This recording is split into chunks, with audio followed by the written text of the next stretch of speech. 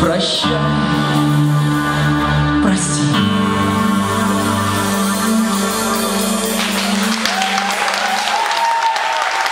Спасибо.